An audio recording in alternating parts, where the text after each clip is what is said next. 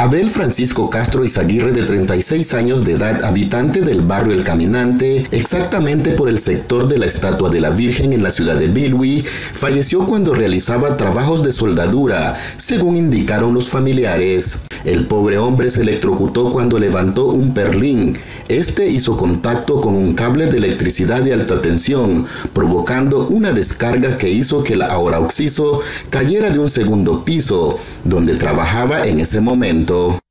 El fallecido fue llevado en estado inconsciente al Hospital Nuevo Amanecer de Bilwi, pero cuando llegó ya no tenía signos vitales. El infortunado fue ingresado al hospital sin signos vitales, producto de un paro cardiorrespiratorio. Además llevaba quemaduras causadas por la electricidad en los miembros inferiores. Pero la desgracia no terminó allí. La tarde de este mismo miércoles, a eso de las 3 y 30 minutos de la tarde, se reportó otro suceso.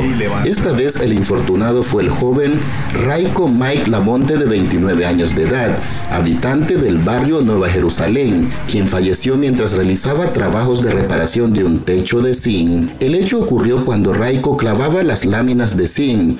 Un tubo hizo contacto con las líneas de alta tensión, provocándole una descarga que hizo que el carpintero cayera al pavimento.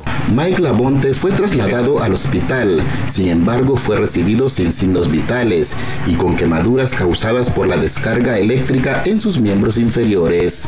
Desde este medio se hace el llamado a todas las personas que realizan este tipo de labores tomar las medidas de seguridad necesarias para evitar estos lamentables hechos que dejan luto y dolor a las familias. Desde Bilwi para Crónica TN8 informó Elvin González.